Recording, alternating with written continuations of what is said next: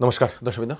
আমি কৃষ্ণকান্ত সিনহা, শিলচর নিউজে আপনাদের সবাইকে স্বাগত জানাই। ইম্পর্টেন্ট গুরুত্বপূর্ণ কয়েকটা খবর নিয়ে আসলাম। সঙ্গে থাকবেন ভিডিওটা দেখার সঙ্গে সঙ্গে চট করলে কাপড় শেয়ার করবেন, যাতে সবার কাছে ইম্পর্টেন্ট গুরুত্বপূর্ণ খবরটা পৌঁছে যাক দর্শকবৃন্দ, আসামের মাননীয় মুখ্যমন্ত্রী ডক্টর হিমন্ত বিশ্ব শর্মা মহোদয়ের বিশেষ একটা ঘোষণা।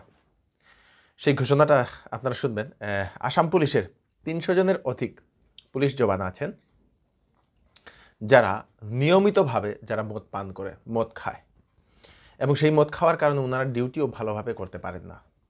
এবং সেই যারা যারা এরকম মদ খেয়ে যারা ডিউটি পালন করতে পারে না, যারা ফিজিক্যাল হেলথ ভালো নয়, সেরকম সেই তিনশো জন, প্রায় তিনশো জন বা তিনশো জনের অধিক হতে পারে তাদেরকে ভলেন্টারি রিটায়ারমেন্ট সার্ভিস দেওয়া হবে। ভলেন্টারি রিটায়ারমেন্ট সার্ভিস দেওয়া হবে আসাম পুলিশের তরফ থেকে, দর্শক মানে তাদেরকে আর কাজ করতে লাগবে না।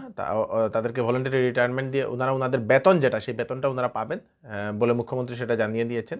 এবং সেই জায়গাতে নতুন যারা ছেলে মেয়েরা তাদেরকে সুযোগ দেওয়া হবে বলে মুখ্যমন্ত্রী সেটা জানিয়ে দিয়েছেন। দর্শকবৃন্দ, খুব ভালো লাগল এই কথাটাও আমি গতকালকে নিউজে বলেছিলাম আসামের মুখ্যমন্ত্রী মাননীয় হিমন্ত বিশ্ব শর্মা আমাদের সেরকম একটা চিন্তা করেছেন বলে। আরেকটা আসামের মাননীয় মুখ্যমন্ত্রী ডক্টর হিমন্ত বিশ্ব শর্মা মহোদয় অ্যানাউন্সমেন্ট করেছেন সেটাও ক্যাবিনেটে সিদ্ধান্ত নিয়ে নেওয়া হয়েছে যে আসামের প্রতিটি যে সমষ্টি, সেই সমষ্টিতে থাকবে উপায়ুক্তের অফিস প্রত্যেক সমষ্টিতে আসামে প্রত্যেকটি সমষ্টিতে এক একটা করে উপায়ুক্তের অফিস থাকবে, জেলা উপায়ুক্ত যেরকম ডিসি অফিস থাকে না, সেই ডিসি অফিসের একটা কার্যালয় প্রত্যেকটি সমষ্টিতে থাকবে। কারণ গ্রামেগঞ্জের থেকে শহরাঞ্চলে গিয়ে ডিসি অফিসে গিয়ে সেখানে কাজ করার জন্য সারা দিন নষ্ট হয়ে যায়, মানুষের অনেক অসুবিধার সম্মুখীন হতে হয়। সেজন্যই সমষ্টিতে যদি থাকে, তাহলে সেই এরিয়ার যে কাজগুলো সেখানেই হবে, আর ডিসি অফিসে যেতে লাগবে না। সেই কথাটা চিন্তা করে মুখ্যমন্ত্রী হিমন্ত বিশ্ব শর্মা মহোদয় উনি এই ঘোষণাটা করেছেন।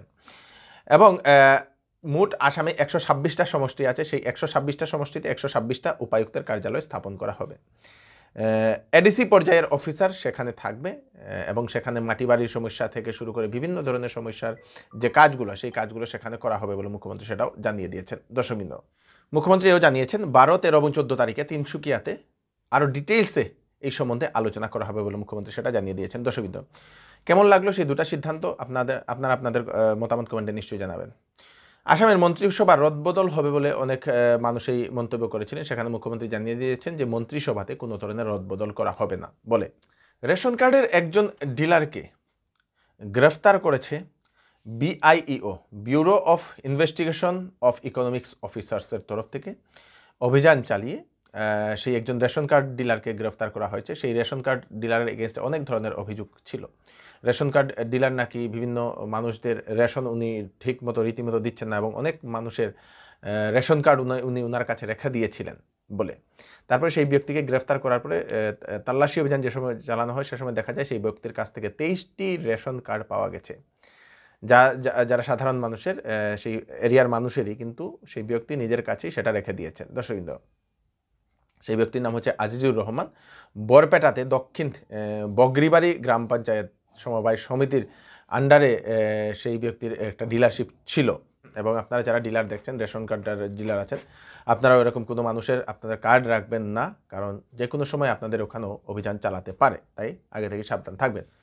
পেনশন হওয়ার একদিন আগে গ্রেফতার হলেন একজন জিপি সেক্রেটারি কাছাড় জেলাতে। দর্শকবৃন্দ, বিন্দাকান্দি ডেভেলপমেন্ট ব্লকের বোয়ালি চেংজুর গ্রাম পঞ্চায়েতের জিপি সেক্রেটারি রতীশ ধর সেই রতীশধর মহোদয়ের এগেনস্টে অভিযোগ করা হয়েছিল, বিভিন্ন কেলেঙ্কারির অভিযোগ করা হয়েছিল। পিএম এওয়াই আবাস যোজনা, প্রধানমন্ত্রী আবাস যোজনার সেই ফান্ড বা বিভিন্ন সরকারি যে সকল স্কিম সেই স্কিমে কেলেঙ্কারির অভিযোগ ওনার উপরে উঠেছিল এবং সেই জন্য গতকালকে রাত্রে সেই ব্যক্তিকে গ্রেফতার করা হয়েছে বলে সেটা আমরা খবর পেয়েছি। দর্শকবৃন্দ, এটা চিকিৎসা সংবাদ আমি আপনাদেরকে দিয়ে দিই দর্শকবৃন্দ। এক্স কনসালটেন্ট অ্যাপোলো হসপিটাল এবং ম্যাক্স সুপার স্পেশালিটি হসপিটাল নতুন দিল্লি। একজন ডায়াবেটিস এবং thyroid specialist, doctor Ujjwal Gogoi মহোদয়। উনি আগামী বারোই মে শিলচরের মেডিক্লিনিক কাছার কলেজের পাশে, সেখানে উনি রুগী দেখবেন। আপনাদের যদি ডায়াবেটিসের যদি কোনো ধরনের সমস্যা যদি আছে, সুগারের সমস্যা বা সুগার হওয়ার সম্ভাবনা এরকম ভাবছেন, সুগার লেভেলটা কন্ট্রোল হচ্ছে না, এরকম যদি কোনো কিছু, সুগার রিলেটেড যে কোনো কিছু যদি আপনারা ভাবছেন, তাহলে সেই ডাক্তারবাবুর সঙ্গে কনসাল্ট করে নিতে পারেন। অথবা আপনাদের যদি থাইরয়েডের যদি কোনো ধরনের সমস্যা থাকে, থাইরয়েড লেভেল এবং থাইরয়েডের যদি কোনো ধরনের সমস্যা যদি আপনারা ভুগছেন ভালো যদি ডাক্তার খুঁজছেন, সেই ডাক্তারবাবুর সঙ্গে আপনারা কনসাল্ট করে নিতে পারেন। একটা ফোন নম্বরে আপনাদেরকে বুক করতে লাগবে আর S মেডিলাইনে eight eight seven six two four five five one two আরেকটা নম্বর হচ্ছে nine nine five seven four two six zero nine three এই দুটা নম্বরে সেল সেল সেল রিডাকশন এবং ঈদের জন্য চলছে বাম্পার সেল চৌধুরী টেক্সটাইলে এইবার দেওয়া হচ্ছে কাপড়ের কেনাকাটাতে সত্তর পার্সেন্ট পর্যন্ত ছাড়। তাছাড়াও বিশ হাজার টাকার উপরে কেনাকাটা করলে আপনারা পাবেন আকর্ষণীয় উপহার। তাই দেরি না করে আজই চলে আসুন চৌধুরী টেক্সটাইলে। আমাদের ঠিকানা হচ্ছে চৌধুরী টেক্সটাইল ফাটক বাজার গলি নম্বর টু শিলচর। ফোন নম্বর zero three eight four two two three four zero six three Shyamsundar jewellers আপনাদের জন্য নিয়ে এলো বিশাল ডিসকাউন্ট এখানে আপনারা পাবেন বিবাহের কমপ্লিট সেট মাত্র পঞ্চাশ হাজার টাকার মধ্যে। এছাড়াও এখানে পুরাতন সোনার বদলে নতুন হলমার্কযুক্ত সোনার গহনা নেওয়ার সুযোগ আছে। আজই চলে আসুন Shyamsundar jewellers central road Silchar.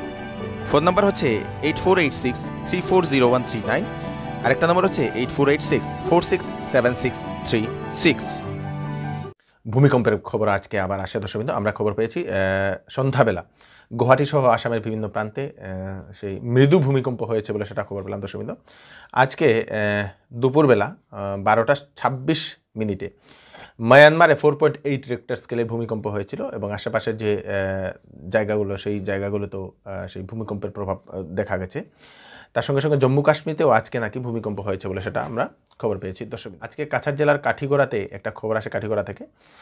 কাঠিগোড়াতে যে বরাক নদী, সেই বরাক নদীতে তলিয়ে গেছে একজন যুবক বলে। দর্শকবৃন্দ, এরকম আমরা একটা খবর পেলাম। কাঠিগোড়াতে যেহেতু এখন বারুণী মেলা চলছে, সেই বারুণী মেলাতে একটা দোকানের কর্মচারী, সেই কর্মচারী বরাক নদীতে স্নান করতে গিয়েছিল। সেই স্নান করতে গিয়ে বরাক নদীতে তলিয়ে গেছে। পরে এসডিআরএফের জওয়ানকেও খবর দেওয়া হয়েছে বলে যেটা জানলাম। সেই যুবকের নাম হচ্ছে পিনাক দাস, বাড়ি শিলচরের চেঙ্কুরি রোডে বলে সেটা জানা গেছে। দর্শকবৃন্দ, যত সময় অবধি আমরা খবর পেয়েছি, তত সময় অবধি তল্লাশি অভিযান চলছিল বলে সেটা জানা গেছে। দর্শকবৃন্দ। আজকে দুপুরবেলা শিলচর হাইলাকান্দি রোডে একটি ওষুধের দোকানে আগুন লাগে, মা মেডিসিন সেন্টার। পরে দমকল বাহিনীকে খবর দেওয়া হয়েছে, সে আগুন নিবাতে সক্ষম হয়েছে দমকল বাহিনী দর্শকবৃন্দ।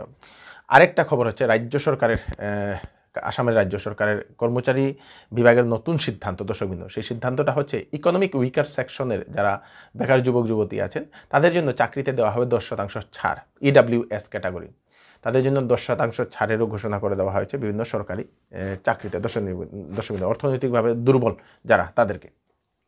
মানবতার পরিচয় দিলেন শিলচরের তিনজন যুবক ও তাদের টিম। নাম হচ্ছে তাদের সৌরভ দাস তারপরে বীর চক্রবর্তী এবং সুবীর ধর ও তাদের টিম।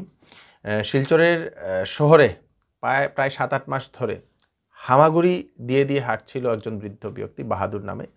সেই ব্যক্তিকে ওনারা ভালোভাবে স্নান টান করিয়ে কাপড় চাপড় পরিয়ে সেই শেল্টার হোমে ওনারা পাঠিয়ে দিয়েছে দর্শকবৃন্দ।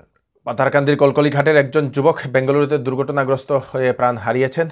তার নাম হচ্ছে কাবিল উদ্দিন বলে সেটা আমরা খবর পেলাম। দর্শকবৃন্দ, সুইগিতে নাকি কাজ করতো বলে সেটা জানা গেছে দর্শকবৃন্দ। শিলচরের বার্তালিপি পত্রিকার অফিসে কাজ করা দুজন কর্মচারী, সেই দুজন কর্মচারী উনত্রিশ তারিখ ভোরবেলা কাজ শেষ করে বাড়িতে যাওয়ার সময় কয়েকজন যুবক মিলে তাদের উপরে আক্রমণ করে হামলা চালায়, তাদের কাছ থেকে পার্স মোবাইল ছিনতাই করে নিয়ে যাওয়ার চেষ্টা করে। পরে তাদেরই সেই পত্রিকার আরও চারজন যারা কর্মচারী, যারা লোক আছেন, ওনারা বাড়িতে যাওয়ার সময় সেটা দেখতে পেয়ে সেই দুজন যুবককে উদ্ধার করে এবং সেই যারা মারধর করেছিল, তাদের মধ্যে একজনকে ধরতে সক্ষম হয়েছে। পরে সেই ব্যক্তিকে নিয়ে সে, শিলচরের রাঙ্গিরখাড়ি থানাতে নিয়ে আসা হয়। নিয়ে এসে একটা এফআইআরও দায়ের করা হয়েছে।